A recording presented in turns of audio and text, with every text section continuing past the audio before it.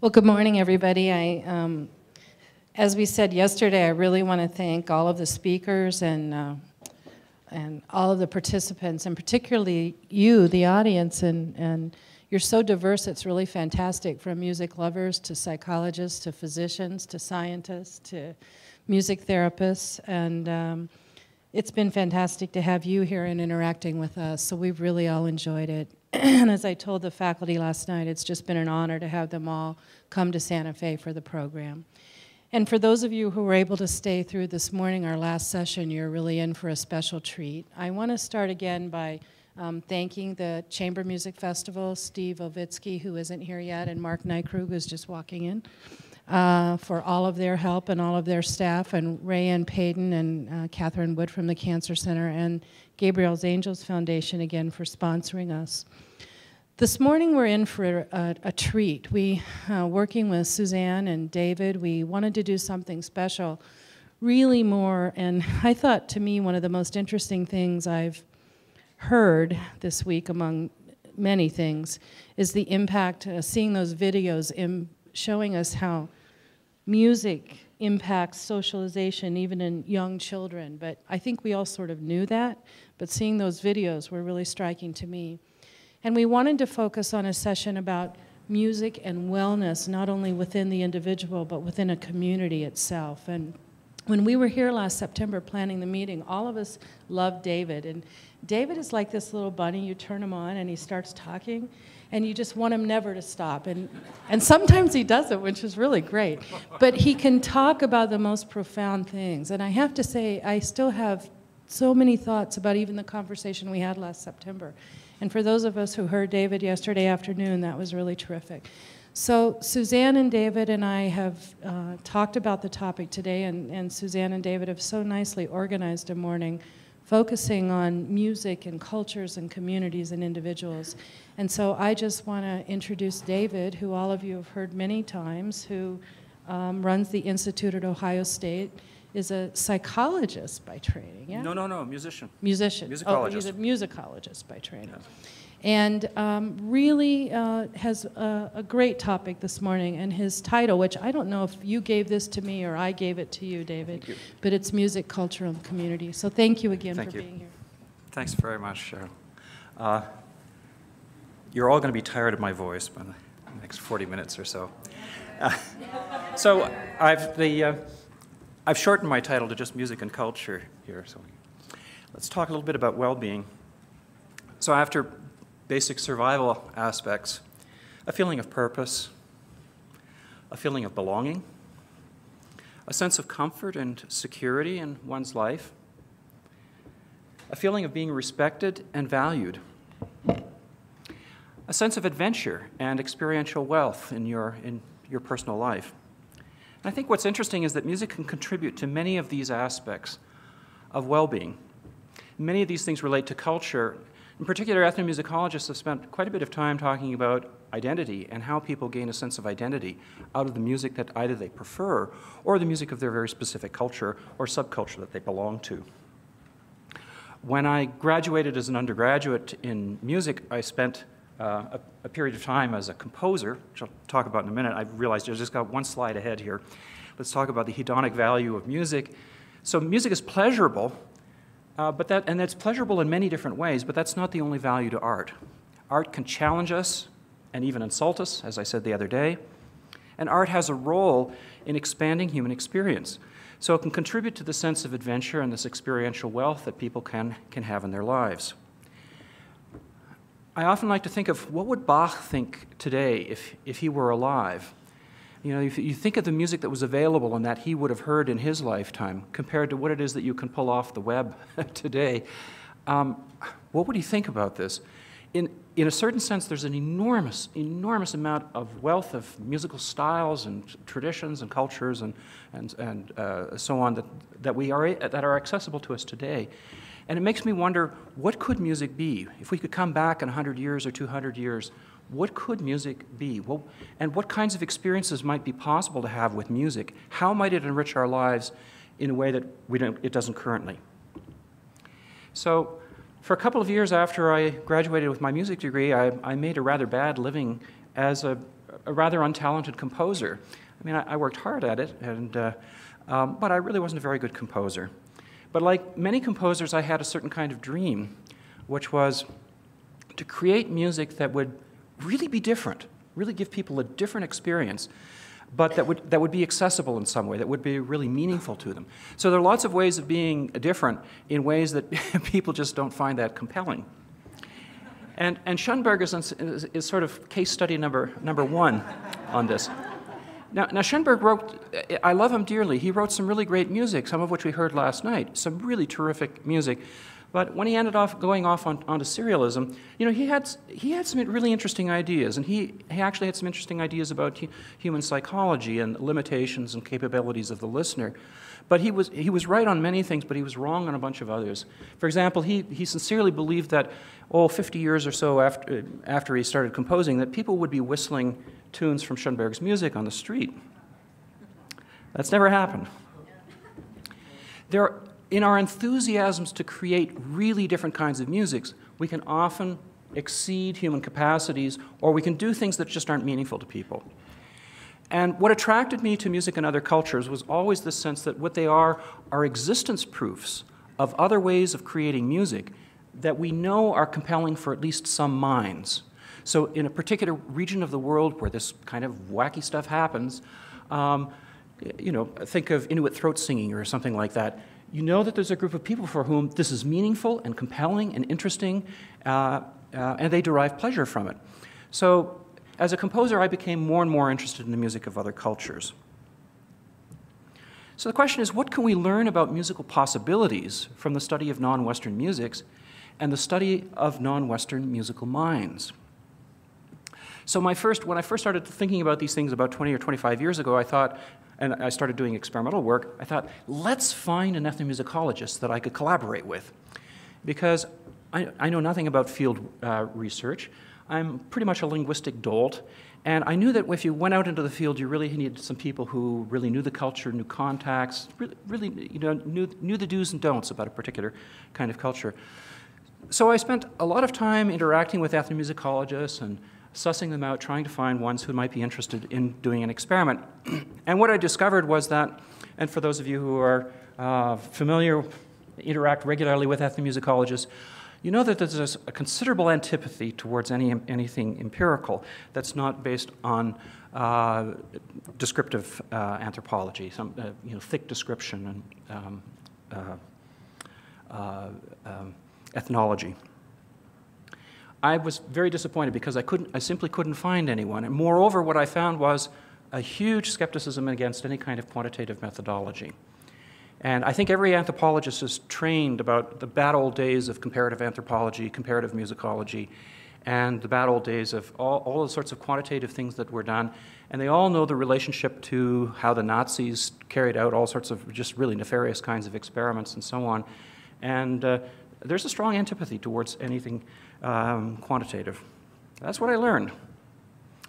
Okay, well, can't find an ethnomusicologist to collaborate with, how about using some database studies? So I embarked, and this is again about 25 years ago, on building um, computer databases of ethnomusicological transcriptions of music from different parts of the world. So one of the early uh, databases we started working with was initially uh, assembled by a German named Helmut Schaffrath, and it was mostly European folk songs from ethnomusicological sources. One of the best generalizations one can make about culture is that it's geographically correlated. Part of what it means to be French is that there's certain parts of the world where French happens. So we used this database of 6,000 odd folk songs from ethnomusicological sources, and what was wonderful about this was that from the sources we had specific village information. So we knew that this particular tune had been collected in 1906 in this village in Serbia. And, um, and, and so we were able to, what we started doing in our computer database was adding this information in, adding latitude and longitude values for all of these um, uh, musical works. And this allowed us to do something like the creation of musical maps. So here's an example of a musical map that we were able to, to generate using this data. Uh, back to your high school, you probably remember our old contour maps where the lines joined points of equal elevation. Or if you had a little more sophistication, you might have had isotherms, they were joining points of equal temperature, or isobars, which are joining points of equal barometric pressure. We call these isomuses. They're joining points of equal music relatedness for whatever feature that we were pulling out of the database. And what you're seeing here is, in fact, a map of uh, the distribution of minor mode pieces in Europe. And you can see uh, this is Norway and um, Sweden here. And you can see that the dark areas, as you go further east, it becomes more and more minor. You can see Italy is a sort of hotbed for, hot, uh, for most, mostly in the major mode. Well, what can we do with this sort of thing? So we started asking questions like, what distinguishes Slavic from Germanic folk songs? And then we thought, well, what if we just put a divider at 15 degrees east longitude and we start looking for musical, what are the differences in musical features between being on one side of 15 degrees um, east longitude and on the other side? And what we found was, in fact, greater variety of phrase terminating pitches. What does this mean? It means that when you, the further east you go, the greater the tendency for each phrase to end on the tonic. So there's da da dee da da da ba ba ba da da dee da ba ba ba. You keep coming back to the tonic. As you move, move further west, there's greater variety that happens. So that was an, an, example of something that we could find. Well, a common uh, idea that people had for a long time is that somehow music is influenced by language. And Ani Patel did a beautiful study, uh, talk in, in a minute about this, related to that. And he stressed this distinction between English and French. So English as a Germanic language is a strongly inflected language, whereas French as a Romance language is not very inflected at all. If you listen to French, um, to English ears, it, it, often sort of sounds like a bit like a sewing machine. So, um, parler en français, pour moi, c'est comme un musicien débutant qui joue Mozart. There's a thing that happens there. Whereas to French ears, English tends to sound like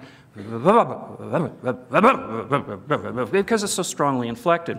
In fact, the French, to French ears, they characterize English as sounding like a fly buzzing around your ears, which is not an inapt description of English in terms of its prosodic stresses. so, uh, Ani applied a standard um, tool from linguistic uh, prosody called pairwise variability. This is just simply measuring how stressed pairs of successive syllables are and applied it to the case of music. So in this paper by, by Ani and one of his colleagues, they sampled 300 themes from English and French instrumental music, and they just simply measured how contrasting these, this, if you have high contrast of strong, weak, strong, weak, or mostly the same kind of thing, you, you end up with these different results. And he found that English instrumental music is more inflected, which reflects what happens with English um, um, language. So with uh, Joy Ollen, one of my students, we uh, expanded that study to 10 times the amount of, of music, and we found exactly the same results. So basically, there's a difference between French and English music, even for music that's instrumental, not just uh, sung. And basically, English music skips more. And I've given two sort of exemplar pieces here. so indicative of the sort of lack, relative absence of inflection in French, da da dee dum ba ba ba, where each of the notes tends to be very very similar in duration and not very stressed. And uh, this is the exemplar I've given here for English is the English Country Garden. Ba, ba, da, da, ba, da, ba, da, da, ba, da, da. There's more of this contrast, uh, so you, you see this element. Okay, so over the years in my lab, we've encoded tens of thousands of transcriptions of non-Western music from over 100 cultures, and we've also got very large databases, very large databases of uh, traditional uh, Western classical music as well as popular music. So let me tell you about a, a lesson that has had a big impact on my life from these uh, database studies, especially as we related it to some perceptual experiments. so there's this traditional concept, if you're trained as a musician, of melodic leaps tend to be followed by a step in the opposite direction. Da, da, da. There's that sort of structure of a large, a large leap followed by a step in the opposite direction. Now, the step part is a little bit suspect here because the vast majority of musical, in, musical intervals are steps. Leaps are relatively uh, rarer. So the really important part of this is what we call post-skip reversal, the idea that a melodic leap is followed simply by a change of direction the, whether it's a, a, um, a step or a leap afterwards, the, the principal part here is that after a leap, there's a change of direction. and, and musicians learn this. Now, there's an alternative to this notion of why we might see this effect, And that is a statistical artifact that some of you, if you go back to your statistics course, you might have learned something called regression to the mean. And regression to the mean is actually difficult to understand. Even statisticians make errors in trying to understand re regression to, to, the mean. So here's, here's a way of thinking about this. So let's imagine you're walking down the street and, and there are people passing by. And what you're interested in is the height of each person passing by. so you might have a short person that walks by, and now we're going to ask you the question Is the next person that passed by, are they going to be taller or shorter than the person you just saw? Okay. So if you see a short person walk by, you might say, ah, I'll bet the next person's going to be taller than the person I just saw. Now, really, the operative uh, principle here is that the, the likelihood is that the next person you see is going to be of average height. That's the operative thing. That's what's really going on. So if you see a short person and they're followed especially by a tall person, then, and we ask you, what's the likely thing to happen next? Well, in statistical terms, the thing that's likely to happen next is somebody of average height. Okay, so notice that the presence of a tall person does not cause the next person to become shorter. Right? There's no causal connection. It's just simply the next person's likely to be of average height. Now, we could apply the same thing to music. When we have a large leap, the thing about large leaps is they tend to take the melody away from the central region of where, where the pitches are comfortable. So if you have a la, da, well, the problem here is that my voice doesn't go a whole lot higher than that. So there's a whole lot more choice of pitches if I go down than if I go up. Yeah. So we did, with Paul von Hippel, we did a whole series of very in-depth studies about this. So let's just give you an example here. What We're going to look for is to see whether the operative principle in music is post-skip reversal. That is, every large intervals tend to be followed by a change of direction. Or is it regression to the mean? The next pitch is more likely to be close to the center of where you would be singing. So I've got four examples here. Here we've got, so the median pitch, this is the average pitch, you can think of as the average pitch in a melody, is this dark line through the staff. And we're starting from the average pitch, or the median pitch, and we have a leap upwards. Now both post-skip reversal, post-skip, uh, post-skip reversal would say the next pitch is going to go down. But regression to the mean also says the next pitch is likely to go down because the next pitch is likely to be closer to the mean. What about this case where we straddle over? Well, again, they both make the same prediction. Post-skip reversal suggests that the next pitch is likely to go down, whereas regression to the mean suggests it's also likely to go down. Third case, what if we jump up to the median pitch?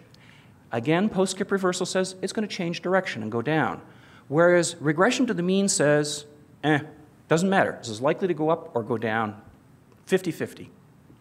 And then the final case what if we have a leap that leaps towards the mean, but we're still not at the mean? In the case of post skip reversal, you're still expecting it to go down. In the case of regression to the mean, the greater likelihood is that it will go up. So now we can ask the question what happens in real music? Does real music conform to post skip reversal, or does it conform to regression to the mean? And here's the data. So what you're seeing here in the first case, both post-skip reversal and regression to the mean predict that it should change direction. And that's what happens for the vast majority of cases. In the median crossing, once again, both make the same prediction that there should be a change of direction. When we jump onto the mean, post-skip reversal says it should change direction, whereas regression to the mean says it should be about the same. And in the case of when we approach the, the median pitch, post-skip reversal says it should go down, whereas regression to the mean says it should go up. Now, this is very informal. We do more formal analyses, multiple regression analysis, and when we do the multiple regression analysis, what we find is that after accounting for regression to the mean, there is no residual consistent with post-skip reversal. And I use the word no advisedly. It's zero. It's zero. There is no post-skip reversal in music. It's all regression to the mean. Okay? Now, we were so appalled by this, because all musicians are taught this, that we thought, so it's just to the conclusion here, melodic leaps are not followed by a change of direction more than would be expected by regression to the mean, which is to say, more than would be expected by chance. So we got, we got carried away with this. We, th- we just simply couldn't believe it. So we, you know, our initial samples, I forget, we you know, probably looked at uh, two or three hundred pieces with hundreds of thousands of notes. And so we expanded that and we looked at thousands of pieces with millions of notes. And we, we looked at music spanning five centuries. We even looked at music from all sorts of other cultures, like Ojibwe music. Nada. There's no post skip reversal anywhere. It's all regression to the mean. Well, this really struck us. So then we thought, hey, wait a minute here. It may not be in the music, but what if people expect it to happen? So what we did was we carried out, and I say I, we here, it was Paul von Hippel carried out this, this experiment. And, and actually, there were two experiments. Paul did one, uh, and Bret Aarden did another. And what we did was we tested people's expectation. So when you have uh, I, I, won't go into the details of the experiment, but we tried to figure out if you have a low pitch followed by another higher pitch, but still it's low, do people expect it to continue on upwards? That is, is their expectation in accordance with regression to the mean, or is their expectation in accordance with post skip reversal? And we varied all the conditions and so on. And what we found was it was consistent with post skip reversal. In other words, if you have a very low pitch followed by another lo low pitch, they still think it's going to go down, even though the likelihood is that it's going to go up. Our expectations, so what does this mean? It means that post skip reversal is a description of human minds, not music. Everybody follow that? So, yes, Western enculturated listeners expect melodic leaps to change direction under all circumstances. So here's the lesson there are patterns that are perceived by listeners that do not exist in the music. Let me say that again. There are patterns that are perceived by listeners that simply don't exist in the sound, they don't exist in the music, they're not there. And of course, what we learned from Schoenberg is that there are objective patterns in the music that are not perceived by listeners. Right? So there's this complementary thing going on here. There are things that we bring to the music that just simply aren't there, but they're part of our enculturation, they're part of what we experience. So the repercussions for this. Studying the sound recordings and transcriptions or notations assembled by ethnomusicologists will not allow us to infer what culturally knowledgeable listeners perceive or don't perceive. That's a serious lesson.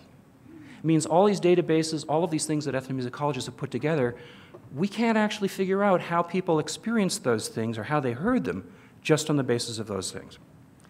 Musical databases aren't as useful as one might think in discovering differences of musical minds. You can't tell how listeners from a given culture perceive music without carrying out controlled perceptual experiments. That's the key. Okay, so chapter two, let's go back and do some cross-cultural experiments. And of course, this means let's renew our efforts to find an ethnomusicologist who would be interested in a collaborative study. So once again, I go and I find three ethnomusicologists who are really wonderful people. I really admire them, do great work. They're all actually well known in the field, and I can't use their names. And they're just really intrigued and very eager to give advice, but they ultimately decide that they can't collaborate because of fears of ostracism from ethnomusicology colleagues for engaging in empirical work. so, after 20 years of this, finally bite the bullet, you think? It's time to do it. okay. So, what do I know about these things? So, this remaining time, I'm going to tell you about how I felt that, it, well, it's time to actually do something. So, trip number one. When I did my first trip, I thought it's important not to have a research program. What I need to do is go somewhere and just find out what it's like. You know, not go with any pre preconceived notions. So I went to Nuku'alofa in the Kingdom of Tonga, which is the only place in the Pacific that was never colonized. And I spent some time there, and it was a very interesting experience, and I learned a lesson. So the purpose here was to get a feel for what's out there. And the lesson I learned is that music is heavily influenced by Western culture. So the most popular music in uh, Nuku'alofa and throughout uh, uh, Tonga uh, is reggae. And uh, there's local reggae, but reggae is really the stuff that's hot. So trip number two this trip was to the Javari region of the Amazon. Now, this is actually a closed region. You're not allowed to go there. The government forbids it. You have to have special permission to go there. Some of you may have read way back in 2001, there was a, a tribe, yet another tribe, that had made um, Western contact in 2001, and that was in the Javari region. So it's on the border between Peru and, and Brazil uh, there, and uh, it's, it's pretty wild. Uh, and five years earlier, there had been a, a, a, an effort to make a nature preserve there. So there was a biological expedition. There were 30 biologists that went out. Um, uh, there were the caiman specialists and the howler monkey specialists and the upper story bird specialists and so on. There was one anthropologist that came along and one musicologist. I was just interested in seeing can we find people who really are. So the, the purpose was are there pristine cultures unfamiliar with Western music? And the answer is it's harder than you think. In the three weeks that we were there, we, uh, we encountered um, three traveling groups. And uh, each of these family groups had a transistor radio. Um, what every anthropologist knows is that before you make contact, tra uh, trade is, makes things go a long way. And um, they were all, you can't pick up any radio in that area. It's too far away, except at night, when the gods of the ionosphere make it possible to pick up these powerful transmissions from Manaus and Iquitos and so on. And they were all familiar with Christina Aguilera and mariachi music and so on. So finding that pristine culture is harder than you think. So trip number three. This is to the Cook Islands. This time, my purpose is what do people consider traditional music? And in the Cook Islands, I encountered this music called imene tuki, which is very prized there. It's a wonderful, wonderful music. I can only describe it as it's, it's like nothing you've heard before. The closest would be something like gospel. In fact, when the singers, you, you'll get these very rotund women, for example, who end up standing up on chairs and just dancing on chairs. You keep thinking the chair is going to collapse. They're just so excited by this music. It's really great music. Um, but it's four part harmony, and it conforms to the standards of Western harmony. Um, and it shows the marked impact in, in the 1840s of the London Missionary Society. So all over the Pacific, you'll find all these Methodists uh, who are the legacy of the London Missionary Society and who do wonderful four part singing and, and, and, so on, and who have transformed the, the music in, in, in ways that are culturally distinctive. But you can hear the imprint there. So, what people there, of course, they were very proud of this music, and, and rightly so. But as a musician coming from the West, you become aware that what people think is very traditional music, they're unaware of just the enormous extent to which westernization has taken place. So, trip number four this is to a little village called Filonovskaya in Volgograd province in Russia. And here, you know, the purpose of this trip is to gain some hands on experience with fieldwork. So here I'm working with Yelena Minyak, who's from the National Folkloric Archives there, and we spend this time recording um, music, uh, style of music called Old Cossack songs. this is mind-blowing stuff. You, none of you have ever heard this before. Uh, it's pretty, pretty rarefied. It's usually sung by anywhere from five to 10 or 12 singers. It's improvised, polyphonic, vocal music that's best described as improvised, what did I say, polyphonic, uh, vocal heavy metal. You have never heard people sing so loud in your life, and it just it's this incredible uh, kind of sound. There was one woman, they were all in their 80s and 90s. And there was one woman, Elizaveta, she was clearly the most knowledgeable there. She was in her late 80s. And when we came, she hugged us all and she said, All my life, I've been waiting for someone to come and record the songs that I know. And we spent all this time recording. And at the end, again, she hugged us, this time with you know, a fair bit of vodka behind everybody.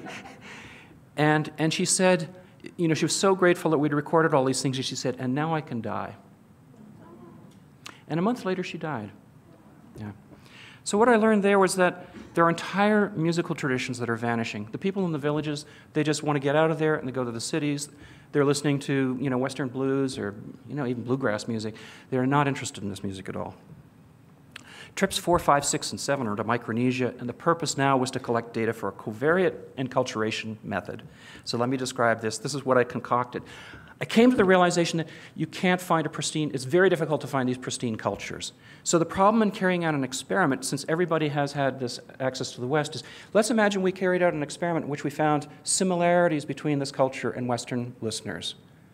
Does that mean there's some sort of universality to what the experience is, or is that an artifact of Westernization? How would you ever know? And if you can't find any cultures, or it's very difficult to find these that you can do these, these tests with, you're stuck. You'd never be able to resolve these issues of just what's the result of westernization and what's not. So I thought deep about this and thought, how can I make use of a, produce an experimental method that would allow me to get around this problem? So here's what I did.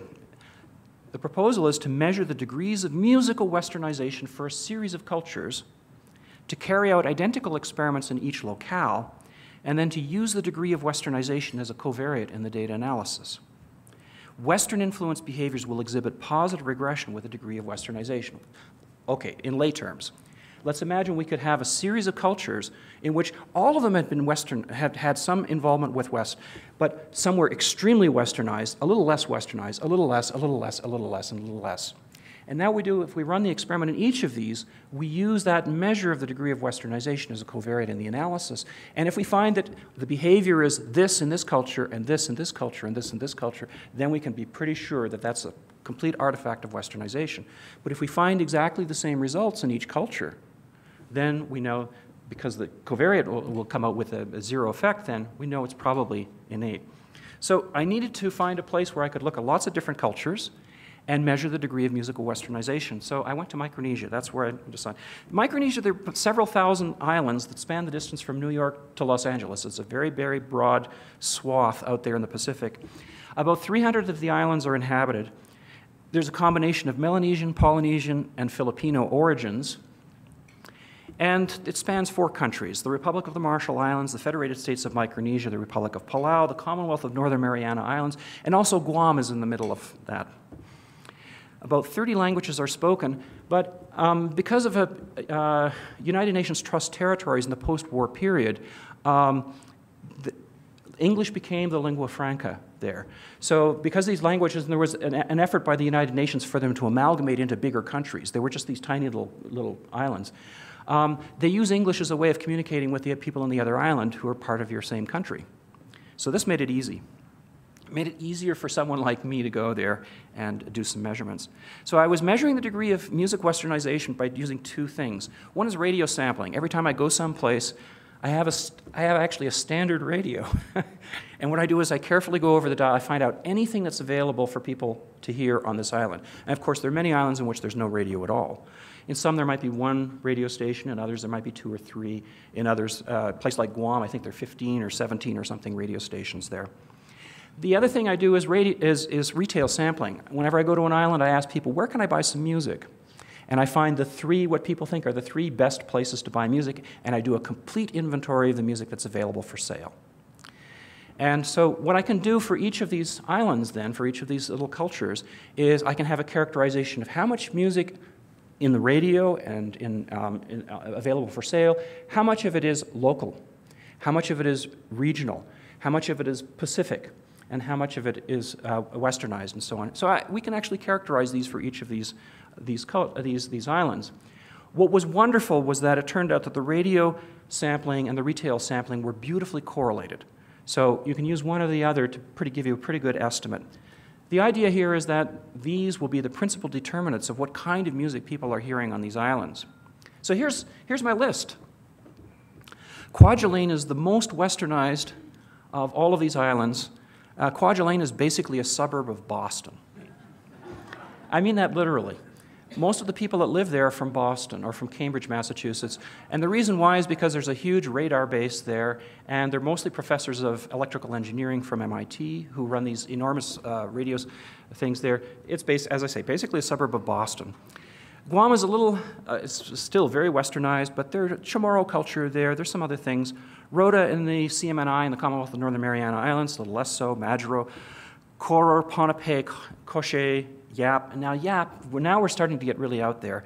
Um, and then it was, it's been so wonderful going to places like Falalap. So let me tell you a little bit about, Falalap is in the Ulithi Atoll. And it's very traditional.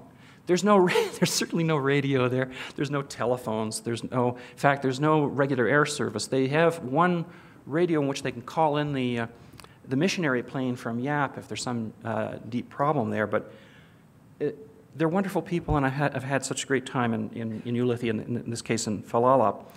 It's pretty traditional. Men tend to wear loincloths. Women typically are bare-breasted, uh, although that's changed in just the last three years. You're seeing much less of it. Um, oh, and here, by the way, they're singing. This woman here, I don't know if you can see this, this woman really knows her music very well. This woman doesn't know her music quite so well. And then in this next frame, you can see this woman is cringing because this woman is singing when she shouldn't be singing. okay. Um, now, all of these islands, I say, are touched by, uh, by Western culture, and in the case of the Ulithi Atoll, they're all Catholic. And, uh, and this particular celebration that you see these photographs from is for the retirement party for Father Nick, who had retired. And uh, of course, the Catholic Church does things like when, a, when a, a, a priest retires, they give him a gift. Here's Father Nick with his gift. So things on the island are, are changing rather rapidly. Um, never has so much music been so easily available. You go online and you can download millions of recordings from Spanish flamenco to Inuit throat singing. As a consequence, people are aware of the diversity of world music as never before. But this rich cacophony may be the soundtrack to a collapse in diversity of musical minds. A Nigerian group might sing in Yoruba, but the harmonies follow the harmonic principles described by Rameau's Harmony Treatise of 1722. Native American Navajo singers make valiant efforts to preserve their musical traditions, but to the trained musicologist, their singing bears the unmistakable imprint of Western scales. The casual listener hears a wealth of variety. The musicologist detects a rapidly spreading monoculture, albeit expressed in many forms. Linguists know how fast languages disappear. Musical cultures may be an order of magnitude more fragile. It will be many centuries before the whole world speaks Mandarin or whatever language you think might be there. But meanwhile, Western music has spread across the globe faster than aspirin. Robust musical cultures remain in places like China, India, Indonesia, and the Arab world, but even in these regions, most people are thoroughly acquainted with Western music through film and television. Less robust musical cultures are disappearing rapidly and are showing deep infiltration by Western musical foundations. Many have already disappeared, there remain only a few isolated pockets, such as in the highlands of Papua New Guinea and Irian Jaya. Regrettably, most cognitive scientists are ill equipped to do remote uh, field work, and few ethnomusicologists know how to do an experiment. This situation must change rapidly if we were to have much hope of glimpsing the range of possible musical minds. We have perhaps a decade or so left before everyone on the planet has been brought up with Western music or its derivatives. Of course, we shouldn't underestimate future researchers' methodological cleverness in separating hybrid culture experiences from their, constituent, um, their prior constituents. And it may be that the most important lessons to be learned about music can all be found in Western music. But who would be so rash as to rely on these hopes? In future centuries, music scholars may well curse our generation. We are the generation that have the technical means to study different musical cultures and we still have a few isolated cultures to study. But in the long span of music research, thinking in terms of hundreds of years, we live at that one unique and fleeting moment where we have access to both of these. People before 100 years ago couldn't do it. People 100 years from now won't be able to do it. Well, there's still hope with things like animal studies and developmental studies, and yes, even database studies. So we do hope to really learn something about the musical minds of others but it's still a challenging thing. And that's my little story for today.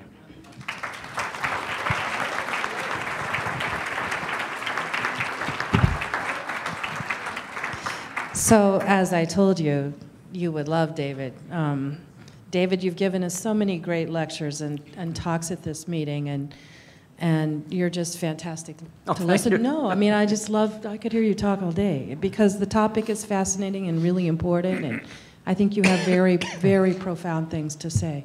So, Marc. Uh, David, I don't know if you know this, but one of my favorite stories altogether, uh, I knew a man who had done the first international tours of gamelan music from mm-hmm. Indonesia. And thinking that European audiences would not have any idea of, of what this even meant, he gave this group he was going to tour a recording of Benjamin Britten's uh, Young Person's Guide to the Orchestra and said, Why don't you start with a piece based on this so people can understand what the different gamelan instruments are. And so they made up something obviously not from their culture to begin the programs. Uh, they went on tour. They played in England.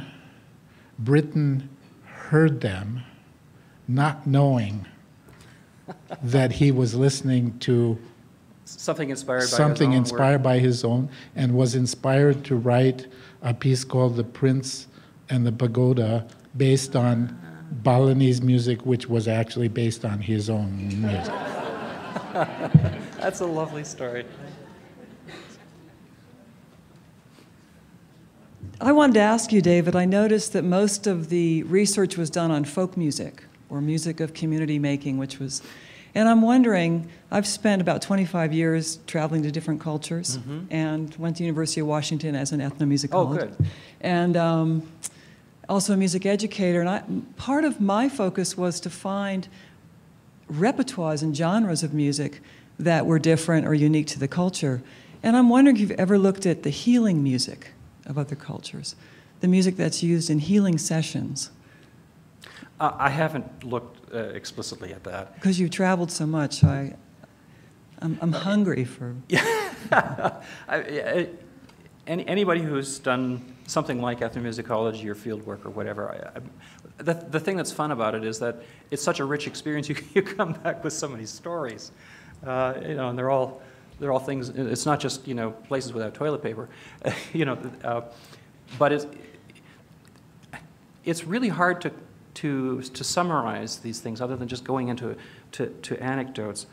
There are some musical riches out there, but you, I, it is, you do become intensely aware of how much Western impact has had. It's just really striking. It's huge, and I agree. It's, It's, huge. a, And moreover, it's, it's tragic because often people really don't, the people that are making the music really don't have any understanding of just how deeply entrenched in Western um, Right. music, So it, can I- music it is. Can I ask you both a question then? Do you think healing music might be less susceptible to the westernizing sort of influences you're talking about? Well, that's or what I does healing discovered. Now, music actually- itself also evolve, David? My, my own um, im- impression from going to these various places that the one kind of music that seems to be the most robust and the most resistant to change is um, cradle songs. It's mothers interacting with their babies. So it's such a personal and, you know, it, it, often what happens is sort of Westerners go to these places and there's now this demand for sort of the tourist aspect of it. So you start taking the fancy music from whatever the uh, um, uh, culture you're doing, and you kind of package it for the kind of the, the, you know these uh, who've come, who've, these foreigners who've come in. Um, but things like cradle songs and these uh, play songs, children's play songs and so on, I think they're much more robust. They're, they're less susceptible to those kinds of influences. Yeah, part of what I discovered too, and just to pose it to you, and love to send you some recordings um, for your opinion, and that is that a lot of healing music repertoires are not open to the public. So Yes. even even the communities themselves, these are sacred repertoires. They're only used during healing sessions, and I've recorded some of those, and I'd love your opinion on that sometime. Yeah. Um, and unique, unique music, unique patterning. This was really interesting for me to watch. But the Kuna Indians, some of the villages in India, um, I lived in Indonesia. Just this music is such difference from the folk music. So But David, you said that one thing that struck me for here in New Mexico, that even the Navajo flute songs, a, mu- a trained musicologist can hear a westernization of that music. That, do you think that culture perceives that? No, I don't think so at all. No. I mean, uh, a lot of Native American music has been Dorianized. It's basically in Dorian mode. Um, uh, and I think people are just not aware of that. Peter? Um, so I'd like to um, get you to speculate a bit on something that combines um, your ideas about biological mechanisms that underlie musical features, musical preferences, and what you're talking about here. Um, kind of along the lines of the debate that's always raged as to is there something innate about Western harmony and things like that that people like. And so you've pointed to this westernization of these various cultures, but in, it seems that it, so the question is, why does the westernization persist? Because in, in principle, uh, there's the period of exposure, but there, there could still, there's an active decision to then engage in that way, as opposed to simply saying, ah, we don't like that. Um, you know, we're going to stick with the music we had because we like that more. And so, is this the case kind of of a food that all of a sudden we like, even though it's not good for us, but we now consume it because somehow it's it's more pleasing. So, what does this say about innate mechanisms for Western music? So I, I, I agree with you entirely. I think um, you know a very good example of this is uh, the adoption of Western music in China. So you know the Shanghai Conservatory very early on, and this uh, rampant spread. You know, so, uh, many of the best musicians in the world now are, China, are, are from China. Uh, best classical musicians. I'm sorry, I should have qualified that. The best uh, classical musicians. There's been an adoption of classical music in a place like China that you, is amazing. Now, the traditional view within anthropology, and it, they're really trying to avoid Western bias. So usually the interpretation of that, these enthusiasms is that they're uh, consequence of uh, colonialism or, or post-colonial uh, influences. Um, and I think that there's no question that there's a lot of that stuff going on in the world, and it may be also true in this case. Except that where I grew up um, in northern Alberta in Canada, um, you know, the one thing I've noticed about large, large parts of the West is that just about every little town and village has a Chinese restaurant. And so you have to ask the question, what was it about the Chinese, what is it about Chinese cuisine? You don't hear a whole lot of Chinese music, you know, you don't go to the local village in, in Arizona and find, you know, the, the local um, um, erhu players and so on that are really into Chinese traditional music, but you will find a Chinese restaurant. So I think the, this reverse scenario, the fact that Western music has become so compelling in China, whereas Western food, cuisine, and I'm, by Western cuisine, I'm saying up until 1950. Because after that, the commercialization of food in the West became optimized to increasing fats and so on to make it really compelling for everybody. But if you take, you know, your sort of British, you know, uh, roast beef and potatoes or something. That didn't make very much inroads in the rest of the world. So there must be something I think that is compelling about Western, Western music that a lot of other, I, am speculating here, that other cultures really do find attractive. And that we can see evidence of this, that it's not just colonialism, in the fact that often we find certain cuisines from these cultures, th those have made huge inroads in our own culture. So there's, there's, I think you're exactly right. There's something else going on there. There may be some things about Western music that are, that are more compelling than a lot of other musics in the world. So uh, a great experiment about that would be, and, and you must think this way, David, is if you go back to the experiments that Ani and Peter showed about socialization in response to music. Yeah. So is there something about the harmonies or the tones of Western music that make a more positive social interaction from a biologic basis? And Have we studied that compared to other forms of music that you're talking about? And we need things like controls of looking at metronomes. If we just use metronomes, is that going to produce the same effect? You know, one, Yeah. one hopes of hope that it's not just a metronome that'll do it, yeah. But I mean, would, it, would Yeah, that be an amazing experiment to do? It would be a wonderful experiment to do, yeah. So if the actual adaptation is a positive thing rather than the negative thing we actually Yeah. perceive it may be? Yeah. I'm wondering about the percentage of neuroscientific studies being done with Western music versus non Western mm-hmm. music. Um, I'm not a scientist, but just on a very cursory scan of the field, it seems to me that there's a lot of inquiry, um, for example, between trying to understand the relationship between music and language and what is happening at the brain level as opposed to the musical mind level. Um, and whether or not the, what is being learned there might change if those, if those neuroscientific investigations were being done with non-Western music. I, I couldn't agree more. I think what happens in all research is we start with what we know and we start with our own enthusiasms. So one can legitimately make the claim that the history of music psychology, for example, over the last 100, 150 years, uh, has been biased towards uh, Western art music.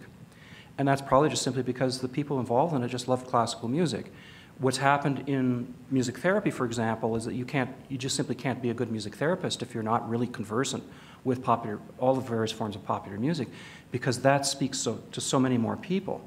Um, and I think that, you know, a large part of this is just simply background. The researcher brings all the stuff to what it is that he or she does, and including their own taste, their own, and, and of course, the the convenience samples we use, 90% of the experiments we, that I do are with uh, um, young adult uh, freshman, sophomore uh, students in, in music in central Ohio. And, and actually, they're kind of interesting because looking for that pristine culture that has been uh, uninfluenced by another culture, I think I found it. because if you, there are large, large swaths of the Midwest which have been unaffected by anything else in the world, at, at least musically. Um, yeah. So, but, but they are convenient samples. Yeah. Yeah.